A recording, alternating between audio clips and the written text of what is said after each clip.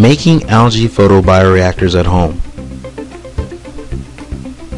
You now can learn how to make your own photobioreactor at home for less than $375. We all know about making algae biodiesel at home. And let's talk about some of the different benefits of algae. Algae can be grown anywhere. Algae is non-polluting. It has zero sulfur. Algae releases oxygen that can be captured and also sold. Algae is a massive eater of carbon dioxide. After the algae oil is extracted, the remaining press cake, the biomass, is a highly valuable product.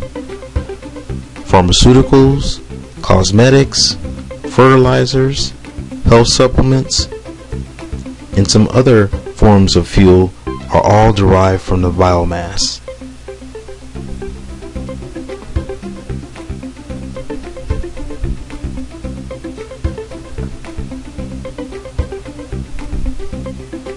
Algae is a single cell organism. Most strains of green algae and blue algae can double their mass every 24 hours. Find out the benefits of making your own algae photobioreactor and also making algae at home.